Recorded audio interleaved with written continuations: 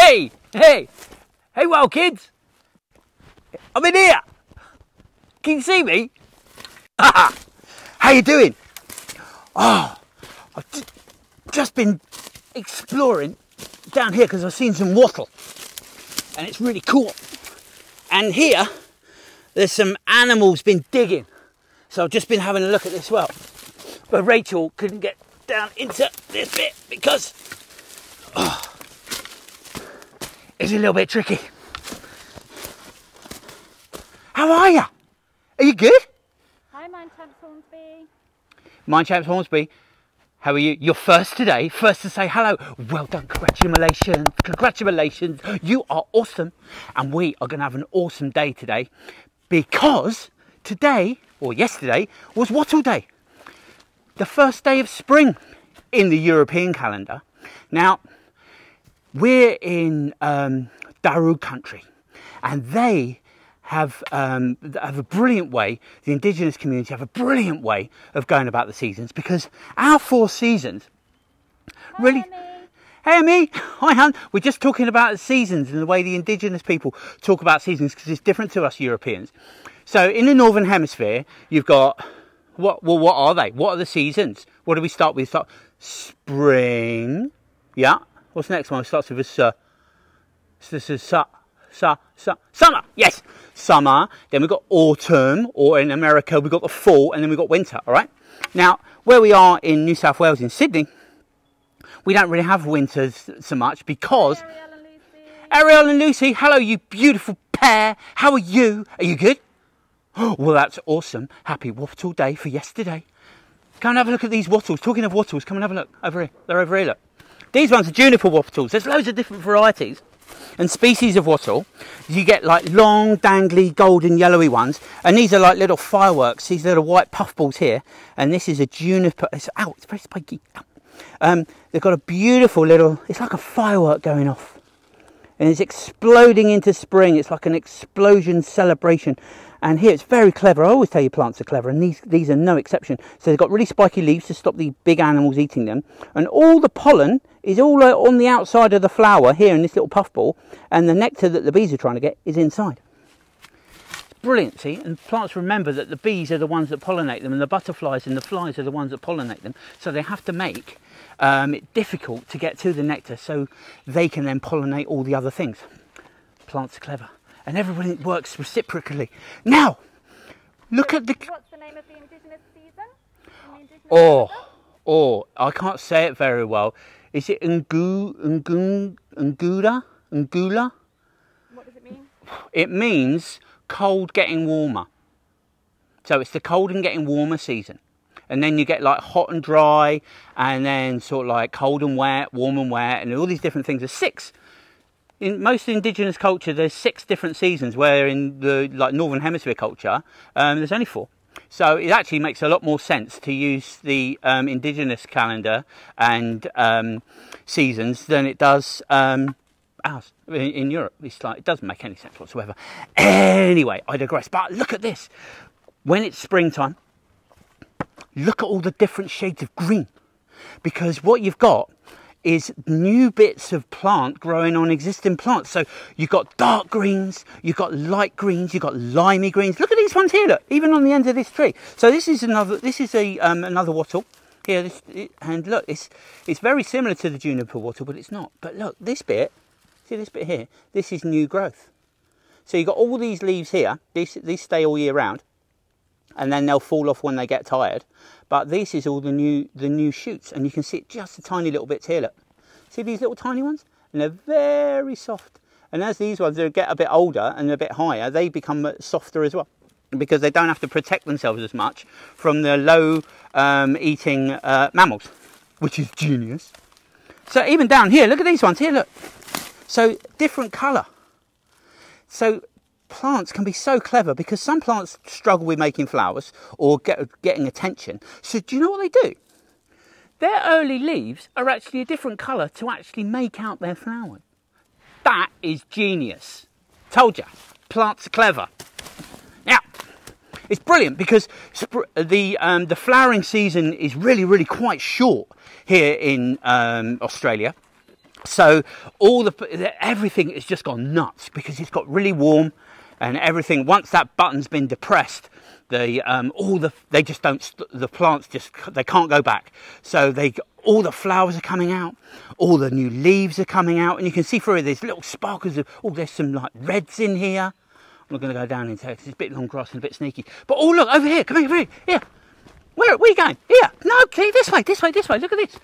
Look at this. Now this is awesome. Look at these, beautiful. This is a golden pea plant. I love these. I love pea plants. Such a funny little flower. Gorgeous little thing. I don't think you can eat these ones though. But it just looks the same as the pea plant. And in my latest lesson plan, um, sowing the seeds, because um, I'm doing a whole thing on um, how to plant seeds and how to look at them. And uh, we're growing some beans, um, peas in those. Really, really cool. Right, come this way. Come, let's have a look over here. Oh, that's interesting. I might. There's another pile of that over there. I'm going to show you something. We're going to do something really, really cool in a minute. So, we're just on an open path by some houses again. Not too far away where we were from last week. We might actually go in there as well because there were so many exciting things to see. And this is just on a on a um, just an open forest track, not too far from where I live. Oh, guys, come over here. Just sorry, getting a bit excited. I get a bit excited about spring because it's spring and it's amazing and there's life and there's flowers and it's all terrific. And look at these guys. Come and have a look at these. These are amazing. Oh, these are really cool. These are um, woolly xanthosias or xanthosias. Look at that. Now, plants are so smart. They not all not all plants are huge, are they?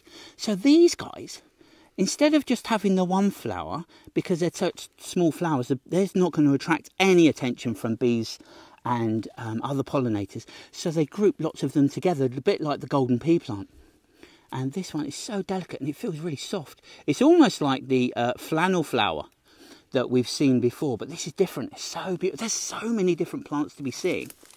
And even these grasses, look at the flower on this grass. And look how mean and lethal it is. Well, all these spikes. So this plant does not like being eaten. And the seeds from this particular plant can be uh, bashed down when it turns to seed, because these are the flowers. When it turns to seed, you can actually eat them. And the um, indigenous um, communities um, would have you, would use these for um, a natural uh, flower. And also, they're brilliant fire starters when they've gone over as well. Okay, so what else have we got here? Oh, we've got these upright guinea flowers here as well. These are beautiful. They're a bit raggedy taggedy. I thought they were actually sennas, but these are actually um, these guys. These guys here, isn't that beautiful flower? Isn't that lovely? Um, these guys are um, uh, native, so like they belong in Australia. They haven't been brought over to make someone's garden look pretty. But there's a thing you can do when you see um, flowers like that, and you see like non-indigenous flowers. I'm going to show you something now that you can do with them because there's some sorrel over here, which isn't a native. Sorrel comes from, I think it comes from South Africa, all the way from South Africa. But people put it in their gardens because it looks pretty. Over here, look, it says pink sorrel. Come have a look. And It is really pretty, but it doesn't belong in the Australian bush. So, come have a look at this. I don't know if you've ever seen one of these before. See this? No, it's not just a piece of wood.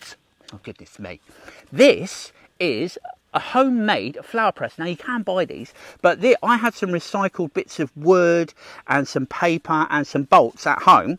And it's brilliant because what you can do, you can actually press the flowers and you can have, have the memory of these, this beautiful spring. So what I'm going to do, I'm going to very, very quickly, because I'm. you can make this better. I just made this um, with what I had at home. It's better when you've got little wing nuts that you can spin around. What if you don't want to make one? Well, you can buy them. You can buy them. Or you can actually just get some heavy books. Now, hands up who likes books. Love books. Books, brilliant. Books are the best. And when you've got books, they're quite heavy. So what you can do is put books on top of the flowers. Now it's really, really simple. All you need is something. Oh, oh, these are from these are from autumn. Look. So I pressed some flowers and some leaves, and when you press them, put them on some blotting paper, all you do it's so simple. Is you get some blotting paper and you lay them down on the wood and then you put some cardboard on it to give it a little bit of protection. And then the, the two bits of wood you squeeze it together or the big heavy books they squeeze down. And you can get all these beautiful keep all these beautiful things. So these are from last autumn. Super super simple. And I put those on there. And then what I'm going to do I'm going to show you how to do it very very quickly. So let me just choose oh and some gum leaves as well. Let's put I've got loads in here. I forgot about these. See, that's the thing. I'm going to tell you about a memory game as well. What's that noise? There's loads of birds around at the moment as well, isn't there? So what we can do, I'm going to pick this because it's not a native, and I'm going to place it face down onto the blotting paper like this. Put a couple there, and a few of these. Isn't they lovely leaves as well? Aren't they gorgeous? And you can put anything in them. Just put a few more. What, just kind like, of, what kind of things work best in a flower press? um, well, anything really. Nothing too lumpy. I don't think any like if a a twig isn't going to work very well, but um, delicate flowers with delicate stems work the best. So what we do, I'm going to put those like that, and then I'm going to get a piece of cardboard. How long does it take? How long does it take? It takes about four weeks. So not super long. Let me just move these there because I want to keep these. I'm going to because you can make pictures with these and they're all beautiful.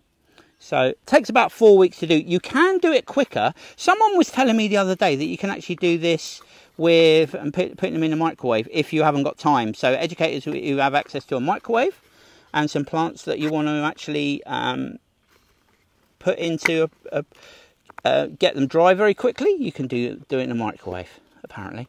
But I don't know how to do that. I'd rather do it the old school way because I'm old. Now, let me just. This is the fiddly bit. Is actually putting it back on. So what you do, you get your little bolts and put that on there like that. Da, da, da. Let's put it on. See, it's always nice to do this actually at a table at home. So let's just squeeze that on there like that. This one over here, like this. So you can look at all these beautiful flowers whilst uh, you're doing that. Oh, there's a Currawong going, no, no, he's taking too long. Thanks, Mr. Currawong. Oh, listen. Can you hear the frogs? There's loads of frogs. That's good. We like that. It means it's a healthy, the healthy pond. So, once all the bolts are back on, that's it. Now that is pressing the flowers and it's going to dry them out and then we can take them out in about four weeks time and then you can make a nice picture with them or just keep them for um, remembering what a lovely time you had looking for spring flowers. Okay, ready for some more of an adventure? Come on then, let's go.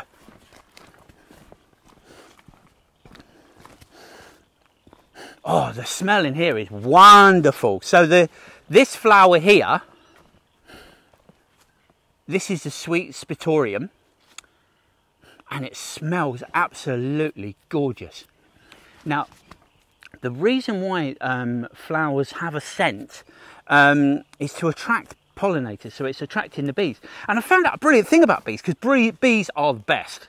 Bees are so important. We've got to look after the bees, haven't we? Because they are in a bit of trouble because of all people using like pesticides and stuff because they don't like certain bugs in their garden. But we need all the bugs because the trees and plants need the bugs.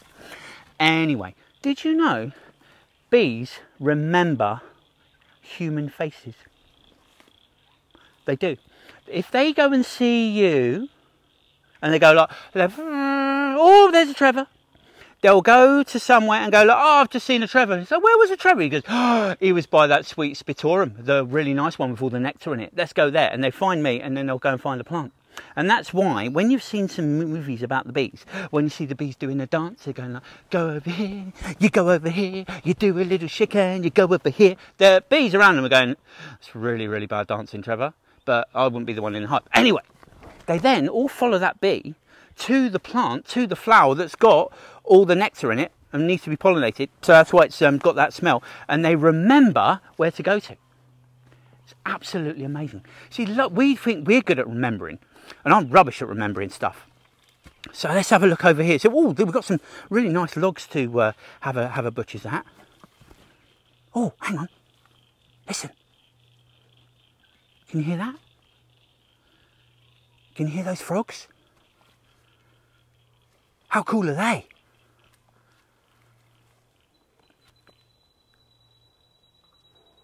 Tell you what, we did this the other day. And we were going for a walk in the early morning. And we were up before the sunrise at dawn. And we went to hear the dawn chorus. And it's a brilliant thing to do.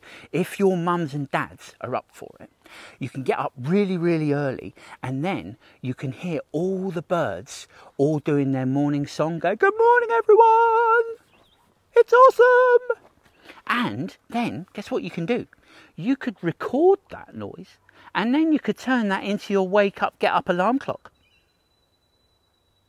just like those noises. Now that'd be fun. That's a nice way to wake up rather than of a bell. That'd be rubbish because I don't like alarms. Now let's have a look around here. See what we've got. Oh, oh, oh, guys, guys, guys, guys! Brilliant. Have a look at this. I was just about to look under this log to see if there's anything here, but look what I found. Oh, now there's treasure. Look at that. Does anybody know what feather that's from? Does anyone know? That's right. This is from a rainbow lorikeet. Now, all my wild kids in the UK, uh, somebody was saying, I can't remember who it was, but they said they went to the zoo and they saw the um, rainbow lorikeets in the aviary. Well, here in Australia, New South Wales especially, they are in the wild. And when they shed their feathers like this, like this flying feather, they are treasure for me, and I'm going to keep that because I'm going to put that for a game. We're going to. I'm going to show you how to make. I'm going to put that in my lid. I'm not. In fact, I'm just going to put it in my pocket because that's a nicer place to put it. There we are. Just going to put it there. Oh wow, it's so noisy. That means there's a lot of lot of busy busyness going on with all these frogs. That's awesome. I, lo- I love hearing frogs. Now we'll, put, we'll walk through here earlier on just to see um, what we could find, and when there wasn't so much noise going on.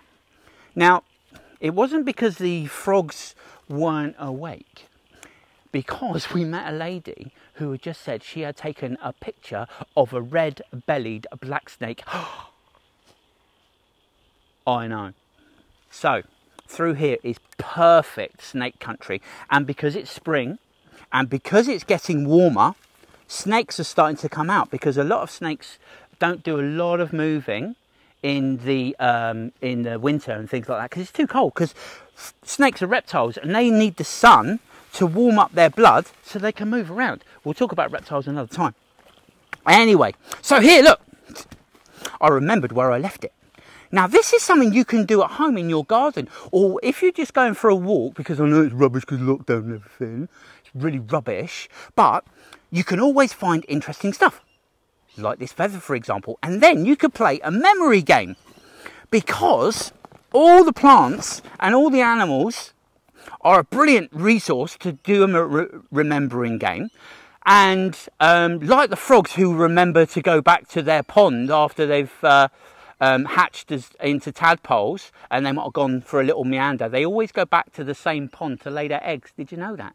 So frogs are brilliant at remembering stuff. Dogs are really good at remembering stuff, whoever's got a dog. And also, the best memory of uh, in the animal kingdom are uh, dolphins. Dolphins are really good as well. Oh, kookaburras. What else we got? I don't know if you can hear that on the mic. Best noise ever. Anyway, right, okay. I digress. So, remember last week when I used the rock to show you how to use the burnt wood from the charcoal? Look, it's still here. And what we can do is, I found a few little bits and pieces. So we got just a bit of a stick, and we've got a seed. Oh, look, I already had a lorikeet feather. Shows how much good my memory is, doesn't it? so, Now, playing a memory game is super, super fun because you can find the seeds, you can find the leaves, all like this. There's a she oak seed, and this is from a uh, a um, amber gum. They're really cool seeds. I like those. And a pine cone. I found a pine cone as well. Isn't that cool? I love that pine cone. Now, the, the way you play a memory game is like this. So, I'm gonna you have a look at all the things on the rock, and you look at it for about 30 seconds, and then I'm going to cover it over. Oh, yeah, one more look. All right, have a quick look. And now I'm going to cover it over. And now I'm going to move something. So look away.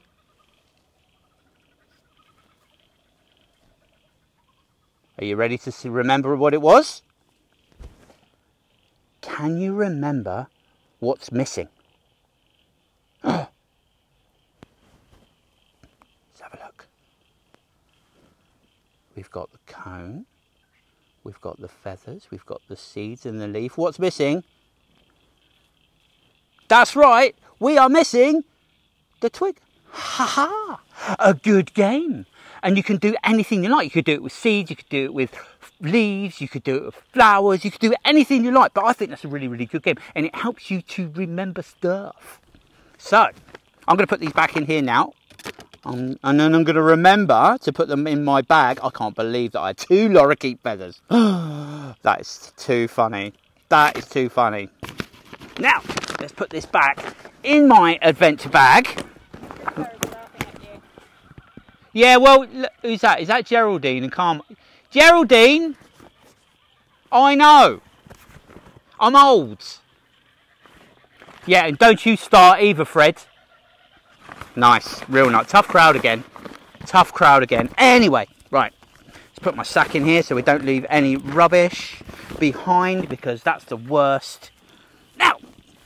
And then now the frogs have started laughing at me as well. Right, okay. Oh, look at all this sweet pittosporum as well here. Look, beautiful. Oh, guys, golly, it smells so nice. Look at this. Now, come on, you coming? Let's keep going through here. I'm going to show, we'll have a look at some uh, under some logs here, see if there's anything we can find. Let's have a look. Oh, anything under that one? Oh, no, no, not there. Okay. Let's have a look through here. Oh, oh, look, there's a little skink, little lizard. Oh, he's just gone, he's just gone the other way. I'm going to try and show you him. It's the first time I've seen it this year. Can you see him? No, he's gone. He's long gone now. And there's the sap from the um, blood gum, the Angophora. See it all running down? Oh, did you hear that? And uh, that's a, there was a, the, that was a whipbird. That's a really bad impression. But, and also the, that's a tock frog or the striped marsh frog, which is quite popular in um, um, eastern Australia, especially in New South Wales, around here. And this is the perfect environment for them. I mean, all through here, all through this marshy stuff. Oh, oh, it's really close. hey, look. Oh, he's gone. There's a little dragonfly or a little damselfly here. Look. Come and have a look at this guy. He's flying around. There's two of them. I don't think you're going to be able to see them. They're a bit far away now. Yeah, he's gone. He's gone.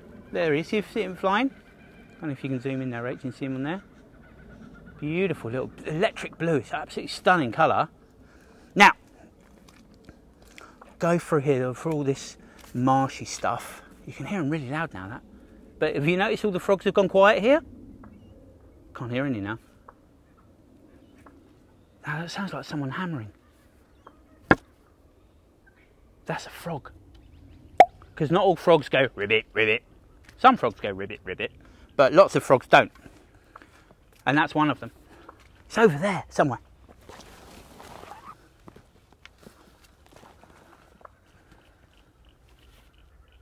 Now, oh, what have you found? Oh, this is awesome, Rach. Look at this. So this tree fern has got all the stages going on. So you've got the first stage here, look at that, where it all curls up. All these are going to be the leaves very, very soon like this on the stem here and it all fells out and wait till it curls all the way out to the tip Like that. That's nearly at the very top. And then, look at this guy. Here, look. Hello. Look at that. That's the one I was trying to show you earlier. In the light, they're electric blue. They're absolutely beautiful. Isn't that amazing? Glorious little thing. He's having a little rest. He's just come out of the water. These guys, do you know some dragonflies live in the, underwater for five years? And then they come out, have a fly around, find a boyfriend or a girlfriend. Ah, he's gone. And then um, that's it. They're beautiful things. Now, look at this one here. So, so we've got stage one, stage two, and this is stage three. Now, all of these leaves are just starting to uncurl. Isn't that beautiful? And then very, very soon, they're going to be as big as this one. Look how big that is. That's how big they grow. Phenomenal things. I love them. And especially because they've been so, so smart and brilliant at surviving that these guys have been around since the dinosaurs. Oh, the frogs are back. Listen. They must know we're all right. Yep, see, it's only Trevor and Rachel. See? Brilliant, isn't it? There's a good alarm call. Morning. Oh, oh, look, these are lovely. These are. These don't come out the other day. This is willow leafed hakea. Beautiful little flower. Again, see lots and lots of flowers on the tree. And that is going to turn into, um, get pollinated and then turn into these seeds. And these seeds pop open and you're going to have other, other plants growing around here. Brilliant. Life going on and doing its amazing thing. Now, I've got something to show you here because I found these guys earlier because I've been I'm not having a lot of luck um, with finding insects or catching them. So, I found these guys and I thought I'd show you what they were in my little um, nature catcher here. Now, where are they? They haven't escaped, I hope. Oh no, there they are, look. Just going to open up these two little beetles. Look at the colour of these beetles I'm just going to pop them out onto my hand. If they come out. Oh, he's having a bit of a piggyback there. You see him? Let's see if I can pop them back onto the... Oh, there we go, look! Check them out. Let's see, I put the magnifier on them. Let's have a look. No, it's not working very well, is it? But they, even though they're beautiful and bronze coloured like that, they're still quite camouflaged against the wood, and that means that they're uh, um, protected from other predators because they don't want to get eaten. Who wants to get eaten? Now, let's have a look under this branch here, though, this fallen over tree. Because it's so wet here, you can see all of this stuff. This is all the wood that's been broken down by all the bugs. And you've got ants in here, you've got termites in here. What else have we got here? Let's have a look. Oh, there's little ants going on, flea beetles, spiders' webs. awesome. Now, let's have a turn of this one as well. See it? Whoopsie. Turn it away from me. Remember, you turn it away from you. Oh, look at that guy. Oh, he's big. Like one of those like um, cockroach beetle thingies. There you go. Look at them go. And don't don't be scared of them because they're just they're just um, veget- vegetarians. So and they just want to keep out of our way. And look, oh look, there's a little leopard slug there. They're very amazing. They are. Uh, as far as slugs go, they're quite the quite the prettiest thing. They've got the same markings as a snow leopard, which is amazing. Now let's just gently put that one back that way. I've not knocked the beetles off. They're still giving each other a piggyback. And then just put those back there nice and gently. I've picked up my viewer as well. And now, let's go this way, come on. So many things to see. Oh look, there's been some wild kids been here and they're building a den. Which is awesome. Now, let's have a look up through here. I'm going to follow you. What you found? Oh look, what another, you want to have a look at this log as well? Okay, come on then. Now, so, oh, this one's really interesting because the tree's fallen over. Like you can see all the roots here that have all fallen over and it's still holding a bit of earth. Now look at the top here though. Look at these. All these holes. Now these holes have been made by um, something like a wasp or something like that and they burrow into it and they lay an egg in there and they put their ba- and the baby hatches, and then that gives them a nice bit of protection through the winter. Now let's open it away from me again. Oh, it's all going on down here. Look at this.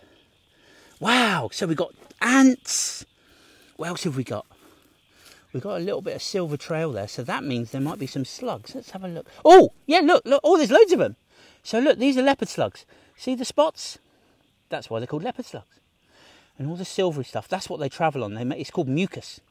And they travel along that on their great big foot, and it's a, an easy way for them to like move along and be as smooth as they can because it'd hurt their bellies if they um, were going on along all the rough stuff, and it makes them move as well. We all know that slugs don't move fast, but it helps them move along as quickly as they can. It's almost like silver, isn't it? Isn't it magical? Isn't it wonderful? Nature is just the best. I love it. Now, what we else we got in here? Oh, everybody's everybody's. Oh, look! Oh, there's a hole there. Wonder what that hole holds. Hmm, that's a home to somebody. It might be something that we don't want to see or get near anyway. So what I'm going to do, I'm going to gently roll this back so we're not hurting any of the animals. Oh look, even the tiny little baby bug down, grub down here. See that tiny guy? Let's see. See, if you take your time and have a look, you don't have to see all the. See, it's great when you see the big stuff, but also seeing the small stuff as well, which is absolutely amazing. Love it. How successful has today been? Been so good. We've seen so much stuff. And I've got to show you one more thing. Come with me. Come with me. Come with me. Come with me. Because these you're not going to see. You don't get to see these very long. We've got to go over this causeway. Now this this last week this had water running through it, didn't it? And now look at it. You've still got the plants all growing here in the like little bits of earth that have fallen down. It's amazing how, how the plants are so resilient and they um, are hanging on in there, even in the big rain. Okay, now come this way very, very quickly. Because just be, as we finished last, uh, just as we finished last week, I saw these flowers, and I've never seen them before in the um, in the in the wild in real life. I've seen them in a book, and I thought, oh, they'd be really nice to see one day. And here they are.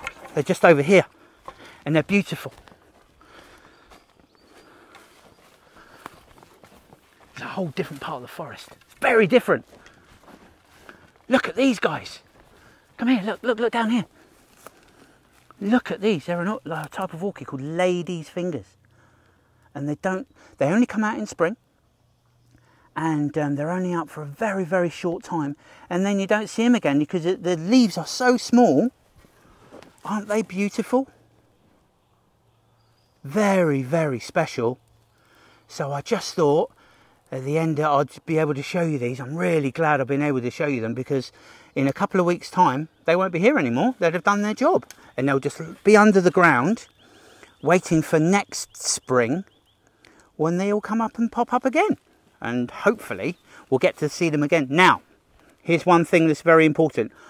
I'm not going to pick these to put in my um, flower press because you don't pick the native plants, especially when they're growing. If it was on the floor, then maybe you'd put it in something to press it. But definitely do not pick the um, natives when they're alive because they're very, very rare and very special.